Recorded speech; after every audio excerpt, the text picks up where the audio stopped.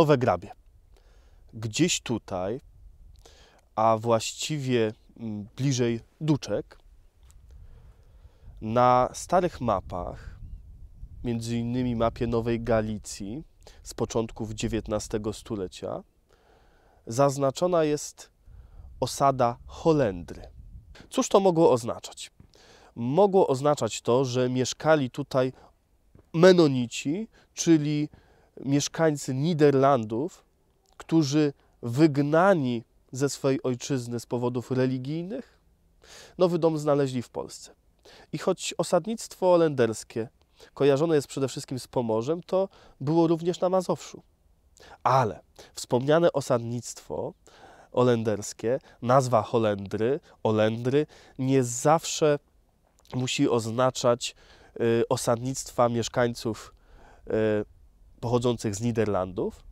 Oznaczało też bowiem Niemców. I rzeczywiście, kiedy nasze okolice, Wołomin, Radzymin, znalazły się w 1795 roku pod zaborem austriackim, a szczególnie od momentu, gdy w 1798 klucz ręczajski i okoliczne wioski stały się mm, własnością zamojskich, sprowadzali oni osadników pochodzenia niemieckiego na te tereny. Osiedlali się tutaj Niemcy całymi rodzinami przez kilkadziesiąt lat. Było ich wielu. Dlaczego ich tutaj osadzano? Przede wszystkim ze względu na fakt, że mieli kunsztowne umiejętności w zakresie melioracji, w zakresie osuszania podmokłych terenów. A te okolice puszczańskie, leśne były również terenami niezwykle podmokłymi. Ceniono też ich kulturę rolną i z całą pewnością podnieśli oni naszą okoliczną, nasze okoliczne rolnictwo.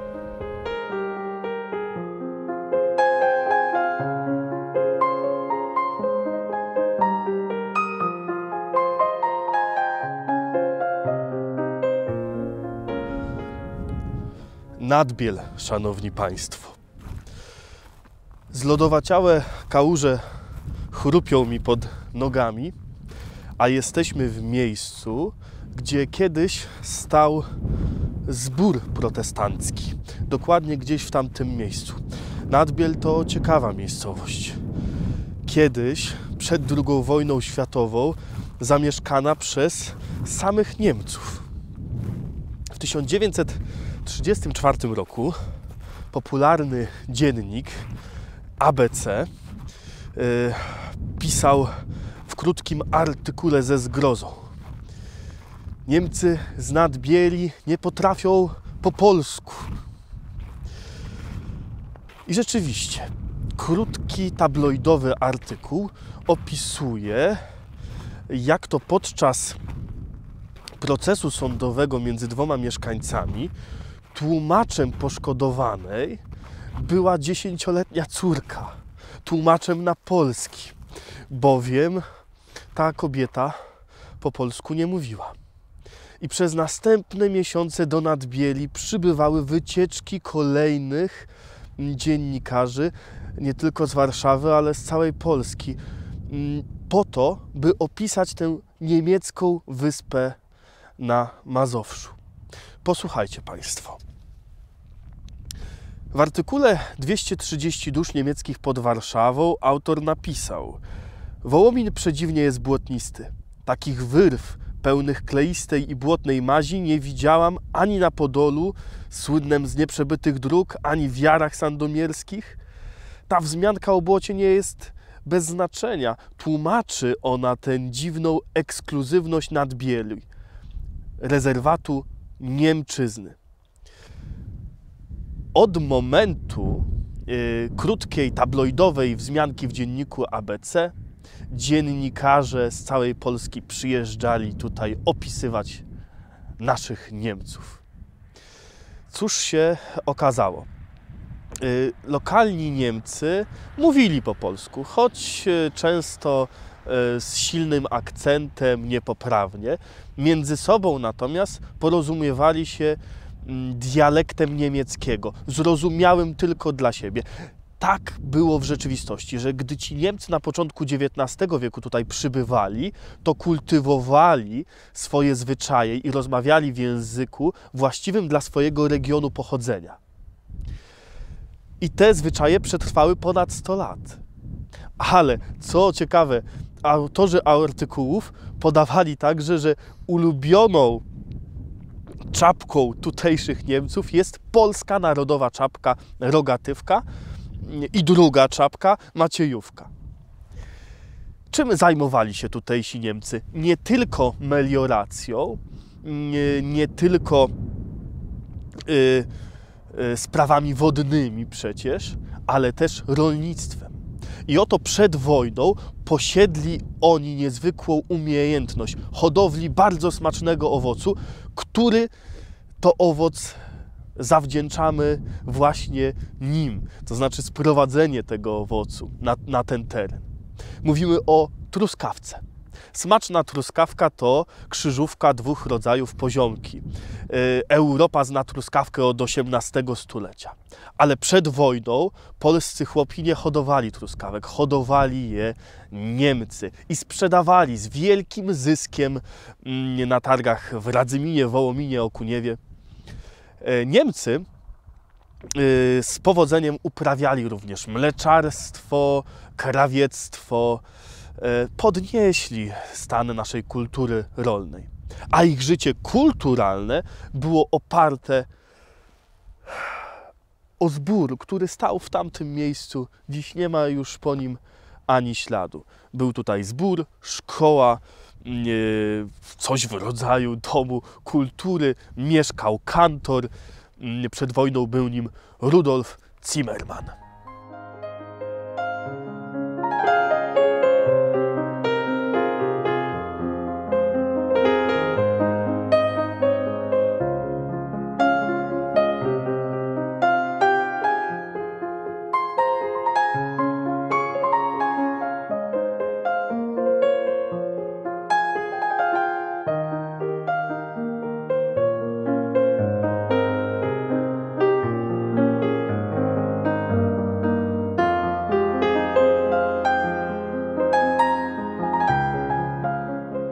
Jesteśmy na tym, co pozostało z dawnego cmentarza niemieckiego. Został założony w XIX stuleciu, może wtedy, gdy ufundowano tu zbór protestancki w 1869 roku. Jesteśmy w Ręczajach, a podobne cmentarze znajdowały się w nieodległych Józefinie, Mostówce. Mimo, że przypruszył śnieg, możemy tutaj odnaleźć kilkanaście zabytkowych grobów. Ludzie pamiętają, stawiają znicze, ale ten cmentarz wciąż jest zapomniany. Wciąż zagrażają mu y, drzewa, które porosły od czasów wojny nie, tą okolicę. Dlatego apel ode mnie z tego miejsca. Apel o uszanowania, uszanowanie tego cmentarza, apel o wpisanie go do katalogu zabytków i w miarę możliwości odnowienie przy odpowiednich pracach, wcześniejszych pracach archeologicznych. Pamiętanie o takich miejscach świadczy o naszym człowieczeństwie.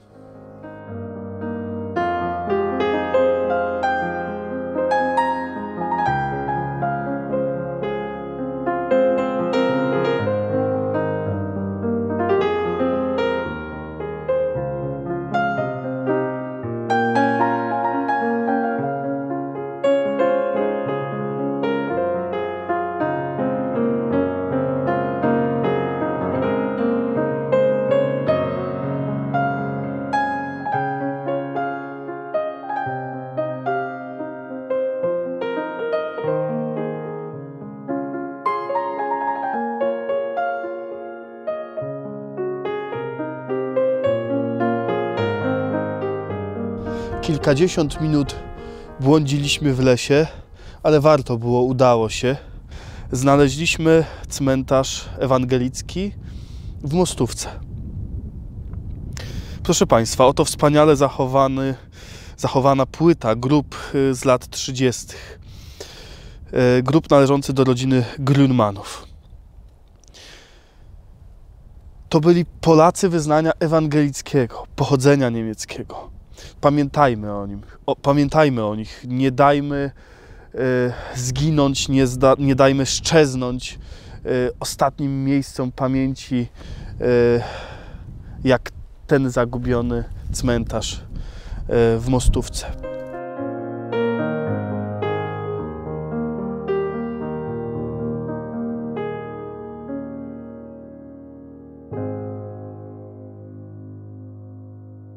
Jeśli chodzi o sprawę tych osadników niemieckich, miałem lat 11, jak się wojna zaczynała i jak ta sprawa się rozgrywała na naszych ziemiach, pamiętam wszystko. Na Czubajce to była wieś mojej mamusi, tam pochodziła stamtąd. Znałem tych Niemców każdego. Do dziś pamiętam nazwiska, gdzie który mieszkał. A, przepraszam, że wejdę w słowo. Jakie to były nazwiska? Już wymieniam. Rynas, bo to był sąsiad mojego wuja. Rynas jeden, Rynas drugi, tam gdzie mieszka pan Laska dzisiaj, Rozbicki tam mieszka. Tak, tak. Rynas, Lelgiet i Terman. I Terman tutaj, gdzie mieszka pan Kuligowski. O, wiem, wiem. E, Tak, e, Lelgiet to tam mieszkał daleko, tak już pod, nad Bielą. E, Tam pani Kielczykowa mieszkała, nie, jakaś pani Ulejczyk? weterynarz Aha. tam. Tak, co- jest, Coś faktycznie, tak. takiego, tak. Lelgiet, Chyba pani Galbarczykowa teraz. No, że to tak. w Czubajowiźnie. No co, jako dziecko z tatusiem tam jeździłem, no jak były jakieś roboty, wiejskie roboty, duże takie, do wujów, tak nie pomagać, bo byłem jeszcze za mały, ale tak przyglądać się. Z tymi Niemcami dobrze żyli Polacy. Wujo też z Rynasem Gustaw chyba on miał na imię, jakaś młocka, coś, to zawsze się odbywała, wspólnie pomagali sobie doskonale. Dzieliła ich jedna zagroda tylko bliziutko, tam koło szkoły, co Bieniacy mieszkają to teraz, tam mieszkał Rynas. Bo często tu Niemcy przyjeżdżali. Po wojnie już? Już po wojnie. A to bardzo I ciekawe. tu u nas Teraz, była tak? U nas Naprawdę? była Niemka w tym domu, Tak, przy tak. tym stole. Od, e, ja siedziałem tu, ona tam. To A ja noc przegadali. Czy to była Niemka, Nie. która tutaj się urodziła i tu pamiętała? Tu się urodziła, Nie, tu tu- była i e, to ciekawe rzeczy, ludzkie sprawy są ciekawe. I my, jak ta pani Lokowa do nas przyjechała, to my tutaj przegadaliśmy tak sobie calusieńko noc. Czasem przyjemnie, czasem mniej przyjemnie, ale ogólnie przyjemnie. Miła pani, kulturalna. E, bo- On znała Polski? Doskonale, bo tu mieszkała. Przecież e, ta działka, co szkoła jest na niej aż tam do samej Nadbieli, to była jej gospodarstwo, to było. I ta pani Lokowa tutaj mieszkała, tu gdzie ten sąsiad mieszka teraz, tylko że to nie te budynki, już tych budynków nie ma. I, bo pan zna jako historyk tę sprawę. Tak. Gdy Hitler dokonał zmiany granic po 30, po wrześniu, Tak. przesunął tam pod Warszawę, generalną gubernię utworzył, przystąpił do wymiany ludności. Polaków tu? Tak, A Niemców Nie- tam. Niemców tam, Polaków tu. Tak jest, tak jest. Tylko, że to się tak odbywało. Pamiętam. Nie Zaraz po wojnie, po tej kampanii, w, w październiku, może początek listopada. Październik, może początek listopada. E, Niemców zabrali, Niemcy wojsko samochodami, wywozili ich stąd. Sąsiedzi dostali polecenie pilnować dobytku, wszystkiego, krowy karmić i te- ten. No i tyle. Za dwa tygodnie z każdej rodziny ktoś tam przyjechał, sprzedał wszystko, co się dało sprzedać, inwentarz żywy, martwy, wszystko rozsprzedali No i później pod zimę zaczęli tutaj ściągać ci nasi wysiedleni z walizeczkami, bez żadnego majątku. Osiedlali się tam. No ja najlepiej znam tu bajkę, bo tam miałem rodzinę. To, to e, no, kuzyna w moim wieku. E, Pani Lukowa o, tu mieszkała, to gospodarstwo duże, najlepsza ziemia. To było wszystko jej, od tej szosy aż ponad Biel. I jak Niemcy zajechali w 1939 roku, to była wdowa z dziećmi tak dorastającymi, z chłopcami. I ona powiedziała, wy mnie tu zastrzelcie, na tym miejscu, ja stąd nie pójdę. To jest moja ziemia, ja tu się urodziłam i ja stąd się nie ruszę. I oni ją zostawili, nie ruszyli jej. I ona dobrze żyła z sąsiadami, z państwem Już nie Kurkami. E, idealnie żyli, jak rodzina. To Kurkowie nam opowiadali. I pani Lokowa później, jak tu e, przyjechała, no i powiedziała, że się nie ruszy, że... A w czasie I wojny światowej, to się później dowiedzieliśmy od niej, że oni ją wygonili, Rosjanie, aż pod Ural, wy, strasznie ucierpiała i sobie przysięgła, że nigdzie w życiu ze swojej ziemi się nie ruszy. I nie da się tym Niemcom nie dostała. Pomagała kurkom. Pan Kurek był wtedy w niewoli niemieckiej, dostał się jako jeniec w 1939 roku. To Kurkowa tak mówiła, że nie każdy Polak nam przyszedł pomóc, jak męża nie było w jesiennych pracach. A Lukowa z dziećmi zawsze pomagała. Zasiać, wykopać, oborać. To wszystko pomagała. No dobrze, że I ona musiała się stąd usuwać po wejściu Tak, radzieckim. pana. Dopiero jak I ona przed tutaj wejściem była całą zabrali. wojnę, gdy już zbliżał się front wschodni w 1944 Szturmem roku, sierpień, do nas weszły wojska wyzwoleńcze 1 sierpnia. 1 sierpnia to było. To na kilka dni przed tym zajechały samochody z wojskiem i już nie było wtedy siłą, co się dało na samochody. Wywozili swoich. zabierali swoje. No wiadomo, to byłby ich los wtedy. Stał na Józefinie. E, Pan Molcon, też Gustaw. Gustaw Molcon. Aha. Jego zostawili Niemcy po to, żeby on był wójtem w gminie Międzyleś, bo wtedy Międzyleś był jeszcze gminą. I ten Molcon był tym wójtem.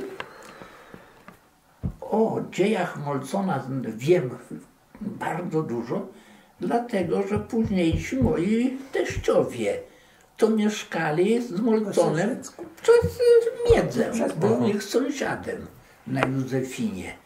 Więc tak jak to sąsiedzi. Kilka razy dziennie tam się widzieli e, z tym Molconem. No i on nareszcie został mianowany e, przez Niemców na wójta e, w Międzylesiu.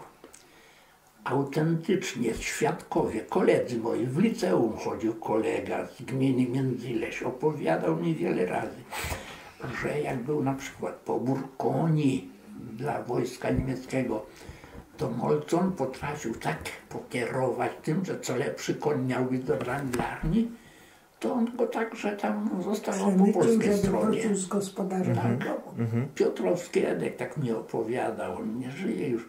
Mówi, raz mi żandarm zobaczyli, że on tak szmugluje te konie na polską stronę.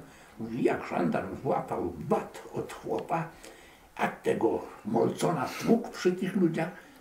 Tak mi opowiadał naoczny świadek Edek Piotrowski. Kolega szkolny. Ja tego nie widziałem. Yy, Ale wracając jeszcze do pani Lokowej.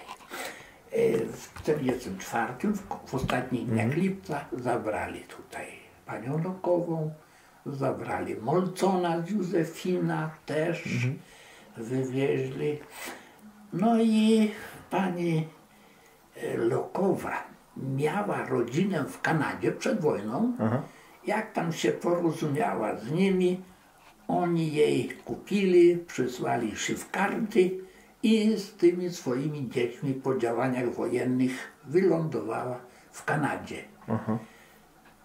I mówi, tak tęskniła za swoją ojcowizną, że ona coraz mówi rodzinie mówiła, ja pojadę tam.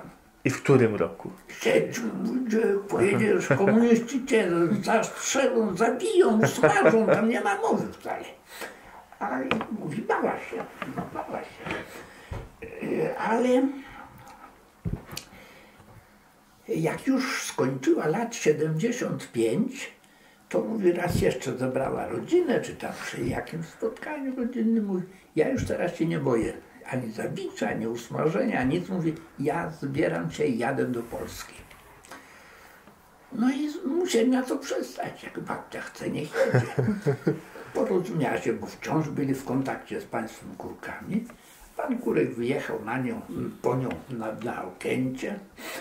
Przyjechała w oznaczonym dniu, tylko wyszła z samolotu, poszła zaraz do e, telefonu, zawiadomić, że dojechała, że jest tutaj sąsiad, przyjechał po nią, Że że nikt jej nie chce mordować wcale, że jest bardzo wesoło, przyjemnie. No i przyjechała tutaj do tych swoich sąsiadów, a któregoś dnia, nie wiem, drugi czy trzeci dzień tego pobytu, bo była tutaj ze dwa tygodnie, a może dłużej, pani Kurkowa przyszła z nią do nas tutaj porozmawiać. Starsza, no 70 lat starsza, ja mam 90 lat starsza. No Dużo starsza, kobieta jeszcze. No, ale od nas była starsza. No od nas wtedy, ja wtedy byłem tak. I To tyle lat e, temu. e, przyszła tutaj i my tutaj spędzili, jak mówię, calusieńko noc przy tym stole. No, no cóż, no lo- człowiek, każdy człowiek jest jednakowy, jednakowo przeżywa, Tak. jednakowo to wszystko. A wrócę do Henia, można powiedzieć. Mhm. Proszę pana, byłam dzieckiem, jak drżeli y, z Rybienka, jak jechali do Warszawy. Aha. No bo przez tłuszcz i... Tak. I u nas w Kamieńczyku to taka gadka była, mówi, a ten taki, nie taki syn, mówi Henio, mówi, to śniadania nie zje, jak Polaka nie zabije. Tak, tak, Pan słyszał to? tak. W tłuszczu o tym mówią, yy, Tak, ja wspominają. też słyszałem, tak, tak. Wspominają. No więc mamy, mamy yy, sprawy niemieckie. I, a jeszcze, jeszcze tak? nie, nie koniec, no, opowiada nam tutaj, jak oni tam trafili nareszcie już na ziemię niemieckie. Jak Niemcy ich bardzo źle przyjęli. Polskie świnie. Wy jesteście jak źli ludzie, dlaczego wy uciekacie przed frontem? My nie uciekamy tu przed frontem wcale, nie boimy się. Wy musicie mieć coś no, na sumieniu, że uciekacie tak. No mówi, że pochód był ciężki, że ta Ryna Suwna, co się Palesa z nią zaręczył, nogi sobie odmroziła, nie wytrzymała. A czy pani wie, jak żołnierze niemieccy dzieci zabijali, wrzucali w płomień, główki roztrzaskiwali o ścianę? Widziała. Nie, ja tego nie wiem. A wie pani, że powstanie warszawskie było? Nie, ja tego nie wiem. No i ja, Ja jej co opowiadałam to powstaniu. uświadomiłem. Także czasem rozmowa była bardzo miła, czasem była trochę mniej. Nie, ale ona nie, nie obraża. Po prostu no, ich propaganda im tego nie podawała. Nie, nie, nie, no, po prostu nie wiedzieli. A my, nasz rocznik, skończyliśmy szkołę powszechną w 1942 roku, środek wojny.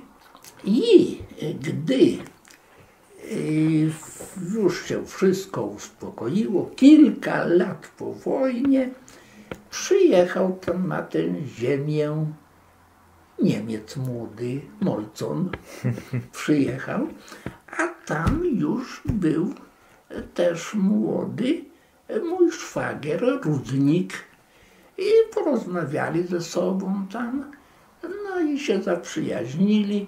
Andrzej jeździł kilka razy Rudnik tam do niego pod Hamburg, tam się osiedlili, Molcony. W tym czasie, no to też już lata, Andrzej już na emeryturze, mieli tam Molcony e, fabryczka opakowań takich papierowych, do nawozów, do cementu, do tam takie, takie rzeczy. E, To tyle jak o tym Molconie jeszcze.